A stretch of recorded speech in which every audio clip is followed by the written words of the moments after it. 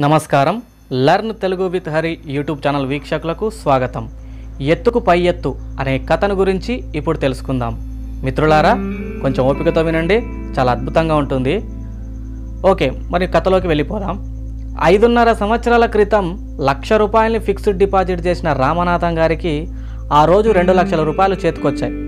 అతని కొడుకు గోపి తన తండ్రితో అంటున్నాడు ఇలా నాన్న ఇన్నాళ్ళు మనం అద్దింట్లోనే ఉంటున్నాం కదా. ఇప్పుడు ఈ డబ్బుతో మనం కొత్త ఇల్లు కట్టుకుందాం అని అంటారు. అందుకు తండ్రి చిరునవ్వు నవ్వి ఏం ఈ అద్దె ఇల్లు బాగలేదా? అని ప్రశ్నిస్తాడు. అబ్బా అలాగని కాదు నాన్న. సొంతింటికి అద్దెంటికి తేడా లేదా? ఇంటి ఓనర్ ఖాళీ చేయమంటే ఖాళీ చేయాలి. మనం తిన్నా తినకపోయినా నెల నెల తప్పనిసరిగా అద్దె కట్టాలి. అద్దె కట్టడం ఒక్కరోజు ఆలస్యమైన ఇంటి ఓనర్ రంకెలేస్తాడు అంటాడు కొడుకు.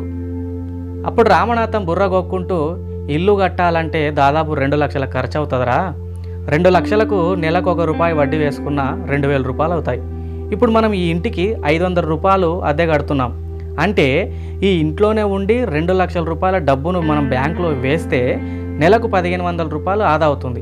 అర్థమైందా? అని అంటాడు తండ్రి గోపితో. గోపి మరేం మాట్లాడకుండా అక్కడి నుంచి వెళ్ళిపోతాడు. ఒకటవ తేదీ రాగానే ఇంటి ఓనర్ రామనాథం వద్ద అద్దె అడగడానికి వస్తాడు. ఇంటి ఓనర్. చూడండి రామనాథం గారు మీరు వెంటనే ఇల్లు ఖాళీ చేయండి ఖాళీ చేయండి అని చెప్తాడు. పిడుగులాంటి వార్తతో అదిరిపడతాడు మన రామనాథం. కంగారు నుండి తేరుకొని ఇప్పుడు ఏమైందండి ఇల్లు ఖాళీ చేయమంటున్నారు. నెల నెల నేను సక్రమంగా అద్దె ఇస్తూనే ఉన్నాను కదా. కావాలంటే మరో వంద అడగండి నేను అద్దె ఇస్తాను అని చెప్తాడు. అంతేగాని ఏకంగా ఇల్లు ఖాళీ చేయమంటే ఎట్లా? అని రామనాథం గారు ఆ ఓనర్తో అంటాడు. అప్పుడు ఖాళీ చేయక తప్పదండి ఈ ఇంటిని నేను అమ్మేయాలనుకుంటున్నాను అంటాడు ఇంటి ఓనర్. ఏమిటి మీరు అంటున్నది అని ఆశ్చర్యంగా అడుగుతాడు రామనాథం. ఈ ఇల్లు వల్ల నేను చాలా నష్టపోయానండి. ఇప్పుడు ఇల్లు ఇప్పుడు ఇలాంటి ఇల్లు కట్టాలంటే కనీసం రెండు లక్షల రూపాయలు అవుతాయి. రెండు లక్షలకు ఒక రూపాయి వడ్డీ వేసుకున్న నెలకు రెండు వేల రూపాయలు అవుతాయి.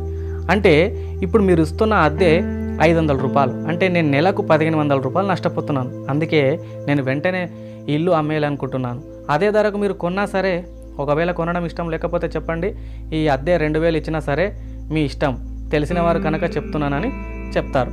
అప్పుడు రామనాథం బుర్ర గిర్రున తిరిగిపోయింది. ఈ- ఇతడికి నీ తెలివితేటలు ఎక్కడి నుంచి వచ్చాయబ్బా అని దీర్ఘంగా ఆలోచిస్తుంటాడు.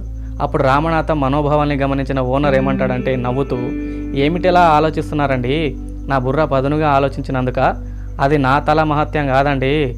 మొన్న మీ తండ్రి కొడుకుల సంభాషణ విన్నాక నాకు జ్ఞానోదయమైంది. కాబట్టి అని చెప్తాడు. కాబట్టి తెలివి ఎవరు సొత్తు కాదు అది ఒకరికే పరిమితం కాదు.